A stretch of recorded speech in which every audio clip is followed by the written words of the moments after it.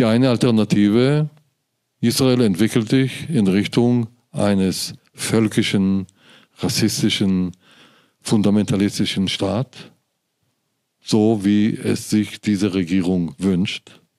Oder Israel entwickelt sich in die Richtung, in die der Zionismus von Beginn an sich, äh, äh, sich bewegen wollte oder sich bewegt hat.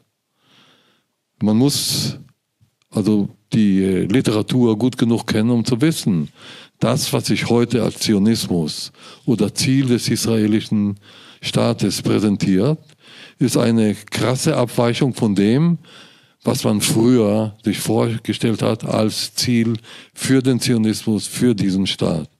Also hier sieht man diese Gabel. Das ist ein Entweder-Oder. Und deswegen ist das jetzt noch krasser als zuvor.